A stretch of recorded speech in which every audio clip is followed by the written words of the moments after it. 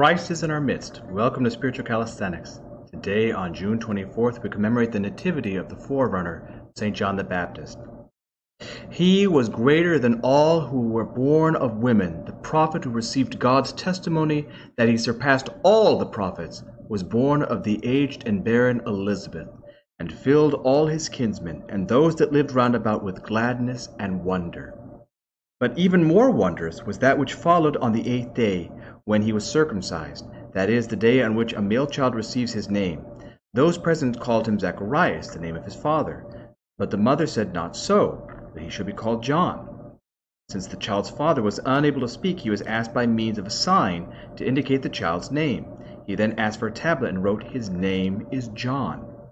And immediately Zacharias' mouth was opened. His tongue was loosed from its silence of nine months, and filled with the Holy Spirit. He blessed the God of Israel, who had fulfilled the promises made to their fathers, and had visited them that were sitting in darkness and the shadow of death, and had been sent to them the light of salvation. Zacharias prophesied concerning the child also, saying that he would be a prophet of the Most High and forerunner of Jesus Christ. And the child John who was filled with grace, grew and waxed, waxed strong in the Spirit, and was in the wilderness until the day of his showing of Israel. His name is a variation of the Hebrew Yohanan, which means Yah is gracious.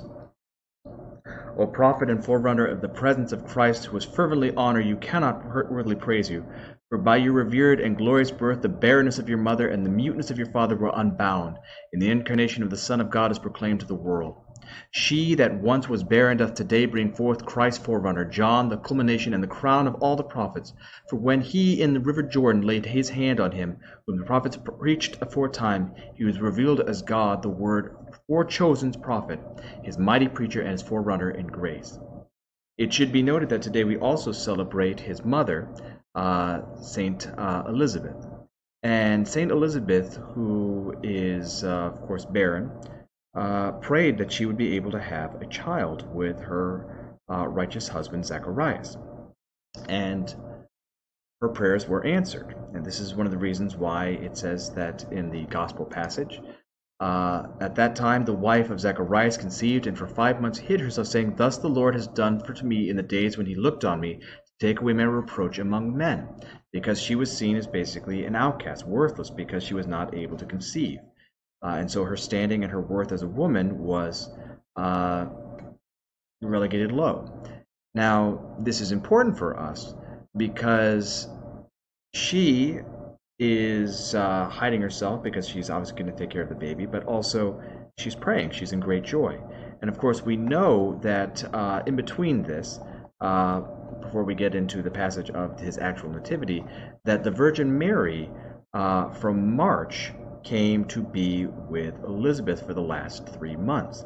And so that is why the icon above me is the greeting of Mary and Elizabeth, in which, this is important, the babe leaped in Elizabeth's womb. Uh, St. John the Baptist was entering the third trimester. Jesus Christ was in the first trimester. And we see that John is rejoicing at the presence of his Savior, uh, of his Lord and God. Uh, Elizabeth and Mary are cousins, and this is one of the reasons why Saint uh, Virgin Mary, Maria, is coming to uh, help her cousin uh, deliver her baby.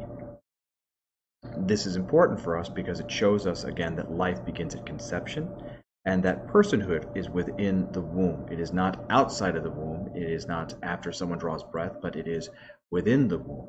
And so we believe that a baby has personhood even from the moment of conception, from this uh, passage in Elizabeth when Mary and Elizabeth greet one another. And so St. Elizabeth is certainly a patron of uh, mothers that are striving to conceive, but also a patron of children themselves. But let's go into the actual gospel passage. At that time, Elizabeth, the wife of Zacharias, conceived, and for five months hid herself, saying, Thus the Lord has done to me in the days when he looked on me, to take away my reproach among men. Now the time came for Elizabeth to be delivered, and she gave birth to a son. And neighbors and kinfolk heard that the Lord had shown great mercy to her, and they rejoiced with her. And on the eighth day they came to circumcise the child, and they would have named him Zacharias after his father. But his mother said, Not so, he shall be called John. And they said to him, None of your kindred is called by this name. And they made signs to his father, inquiring what he should have him called. And he asked for a writing tablet and wrote, His name is John. And they all marveled.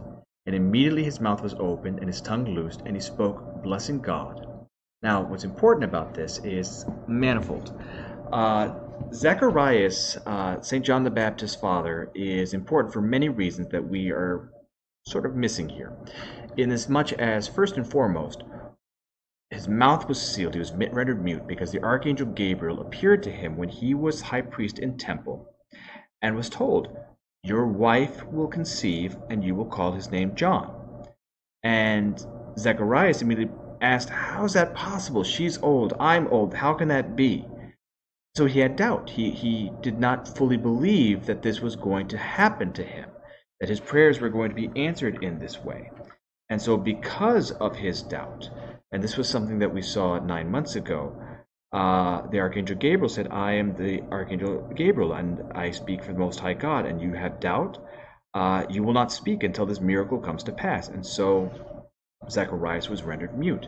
One of the reasons why this is important, and especially as a distinction as uh, we looked to three months ago with the um, the Annunciation, when the Virgin Mary was posed the same exact uh, scenario that she was going to conceive in an impossible way, and she asked, "How will this be since I don't have a husband?" We have to understand the difference in intent. Intentionality is what matters in life, not so much the action, not so much the words, but the intention behind them.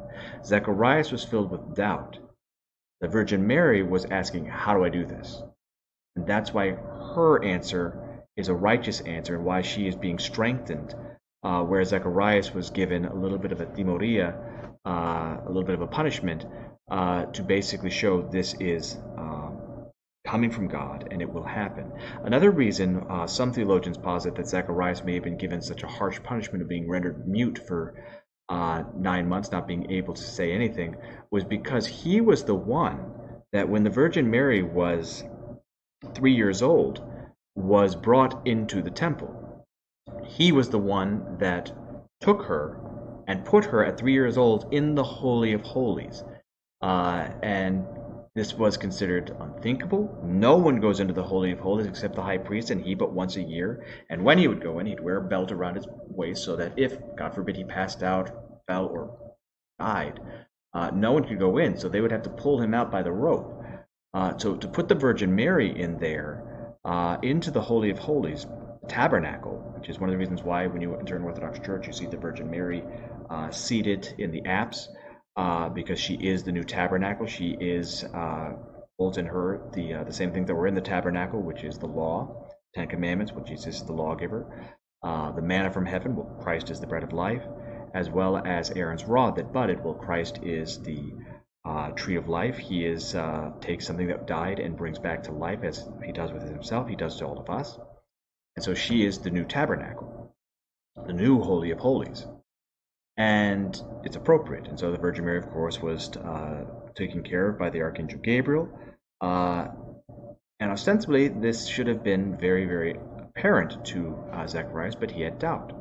Uh, and yet he is still considered righteous. In fact, so righteous, in fact, that uh, Jesus Christ references him uh, when he is talking about the hypocrisy and the evil of the scribes and the Pharisees that they murdered Zacharias where? Not at home, not on the street, in the temple itself. So St. John the Baptist's father will be eventually murdered in the church. Uh, and some look at him as the last martyr of the Old Testament uh, prior to uh, St. Stephen being the first martyr of the New Testament.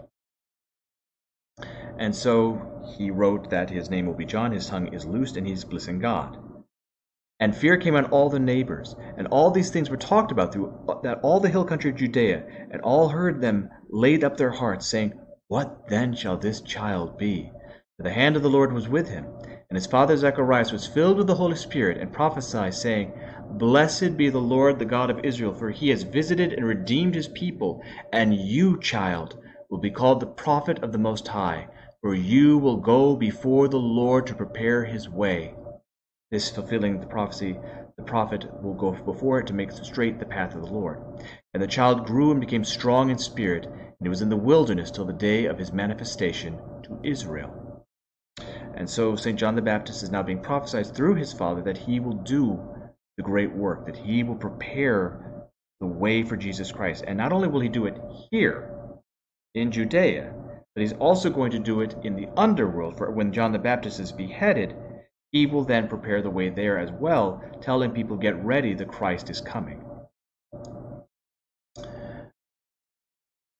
The epistle to the Romans here is not for the uh, the weak, uh, as the other uh, letters to the Romans are, but this is actually connected to the feast today.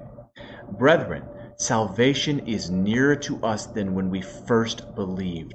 The night is far gone, the day is at hand. The day of salvation is here. Let us then cast off the works of darkness and put on the armor of light. Let us conduct ourselves becomingly as in the day, not in reveling and drunkenness, not in debauchery and licentiousness, not in quarreling and jealousy, but put on the Lord Jesus Christ and make no provision for the flesh to gratify its desires. This is one of the reasons why we hear the expression, He who has been baptized in Christ has put on Christ. That we are putting away the old man. The old man is going to die, and the new man is being baptized in the Holy Spirit and is putting on Christ, that we may walk in Christ. As for the man who is weak in faith, welcome him, but not for disputes over opinions. One believes he may eat anything, while the weak man eats only vegetables. John the Baptist, of course, did not eat anything but locust and wild honey. Let not him who eats despise him who abstains, and let not him who abstains pass judgment on him who eats. We see this all the time within fasting, that uh, you know oh, you you holy people, you fast, fast, fast, but you're not really that great. Or the people that are fasting of look at these terrible people that they don't fast. Judgment is a problem. That's not what this is about. And let not him who abstains pass judgment on him who eats, for God has welcomed him. Who are you to pass judgment on the servant of another? It is before his own master that he stands or falls, and he will be upheld because God is able to make him stand. In other words, God is the one that gives us strength. We all serve God, and all of us have to do it differently. Everyone is in a different place on their journey. It is not for us to cast judgment on anyone. And so, therefore, it's very, very important, it's critically important that we welcome one another, but not for disputes, not for arguments. I hope that you've enjoyed today's spiritual calisthenics. And for all of those who are named Ioana or John, uh, God bless you, and especially for all of those who celebrate their name day, all who are Elizabeths. God bless you. Happy name day.